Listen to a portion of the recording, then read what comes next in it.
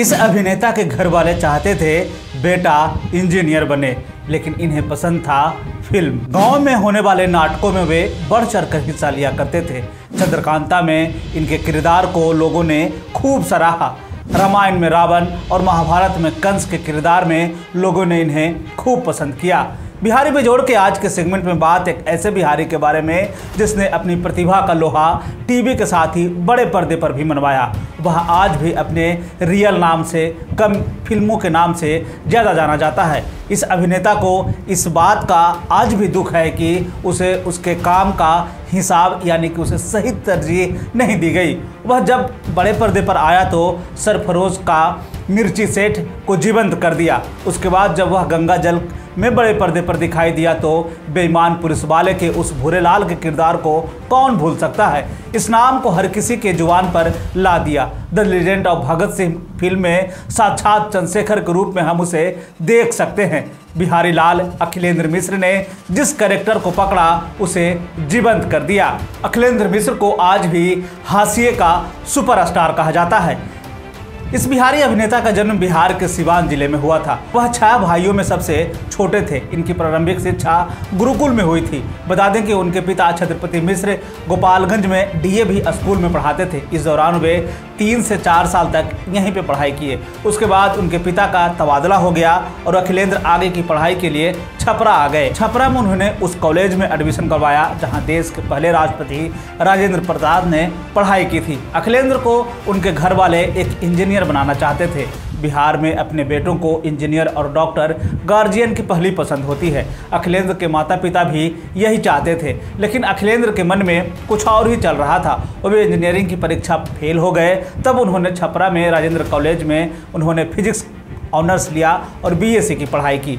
अखिलेंद्र अपने बचपन के दिनों को याद करते हुए बताते हैं कि वह ऐसे परिवार से आते हैं जहाँ फ़िल्म देखने पर पिटाई की जाती थी। जरा सोचिए, जिस परिवार में फ़िल्म देखने तक में मनाही हो, उस घर से निकलकर फिल्मी दुनिया में काम करना कितना मुश्किल काम था। उन्होंने यह भी बताया कि उस जमाने में हमारे संस्कार और लिहाज ऐसे थे कि हम लोग पिताजी के सामने आते तक नहीं थे। उस जमाने में पिताजी को कोई बात कहनी होती थी तो हम दूर सामने खड़ा हो जाते थे और बड़ी मुश्किल से अपनी बात कह पाते थे। हमें जो बात कहनी होती थी, हम अपनी माँ को बताते थे और माँ पिताजी को बताते थे।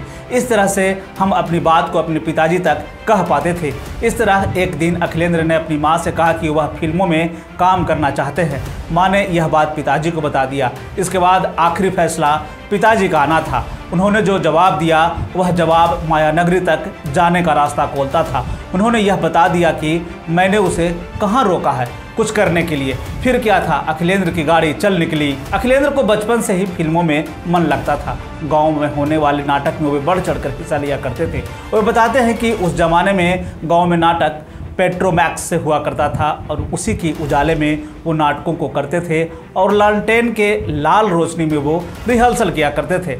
गाँव से जब वो निकले तो उन्होंने इप्टा ज्वाइन कर लिया। यहाँ उन्हें खूब थिएटर किया। अखिलेंद्र ने जब इंटरव्यू में यह भी बताया कि उस समय एक ब्राह्मण परिवार का लड़का पढ़ा लिखा भी है और वह नाटक और फ़िल्मों के बारे में सोच रहा है, ऐसे में उन लोगों को बहुत सम्मान नहीं मिलता था। उस समय की बात नहीं है, आज भी सिनेमा और थिएटर में गाँव समाज में बहुत तरजीह नहीं मिलती है, जितना कि डॉक्टर इंजीनियर बनने पर मिलती है। अखिलेंद्र बताते हैं कि फ़िल्मों में आप लाख पैसे कमा लीजिए, लेकिन गाँव के लोगों का नज़रिया वैसा ही है। वो आज भी उसी तरह से सोचते हैं। अखिलेंद्र यह भी बताते हैं कि आज अगर मुझे ऑस्कर अवार्ड भी मिल जाए तो मेरा ब्रांड चंद्रकांता ही है। उन्होंने यह भी कहा कि लोग आज भले ही मुझे अलग किरदार से जाने, लेकिन गब्बर की तरह क्रूर सिंह का किरदार भी मेरा ब्रांड है। उन्होंने चंद्रकांता सीरियल में रोल मिलने की घटना का ज़िक्र करते हुए कहा कि साल उन्नीस सौ तिरानवे में जब मुझे पता चला कि निर्जा गुलेरी मुंबई से दिल्ली आई हुई है। तो उनसे मिलने पहुँचा। वहाँ जाने के बाद देखा कि पहले से ही कलाकार लाइन लगाकर खड़े हैं। जब मेरी बारी आई तो उन्होंने पूछा कि, चंद्रकांता, पढ़े हो? मैंने बिना वक्त गवाए बोल दिया, नहीं। निर्जा को यह बात अच्छी लगी। उन्होंने कहा कि शायद वह हमारे ईमानदारी से प्रभावित हुई और मुझे क्रूर सिंह का वह रोल दे दिया। अखिलेंद्र का बॉलीवुड में फिल्मी करियर की शुरुआत छोटे पर्दे से हुई थी। वे उड़ान सीरियल में सबसे पहली बार साल 1990 में दिखाई दिए थे। उसके बाद साल उन्नीस सौ तिरानवे में पहली बार हिंदी सिनेमा धारावी में उनके अभिनय को लोगों ने पहली बार देखा था। साल उन्नीस सौ पंचानवे में आई टीवी सीरियल चंद्रकांता, जिसमें वो क्रूर सिंह के किरदार में दिखाई दिए, उस टीवी सीरियल ने के बाद बॉलीवुड में पूरी तरह से वे छा गए थे। फिर उन्नीस में आई फ़िल्म दो आँख बारह हाथ जिसमें उन्होंने इक्का का किरदार निभाया था। उसके बाद साल उन्नीस सौ निन्यानवे में आई फ़िल्म सरफरोश में उनका मिर्ची सेठ का किरदार कौन भूल सकता है?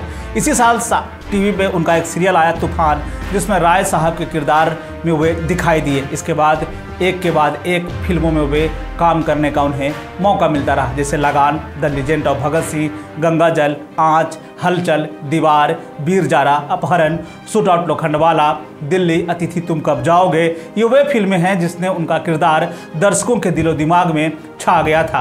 साल 2008 में आई सीरियल रामायण, जिसमें वे रावण के किरदार में दिखाई दिए। साल 2012 में देवों के देव महादेव में हमने उन्हें महाराज बालिक के रूप में देखा।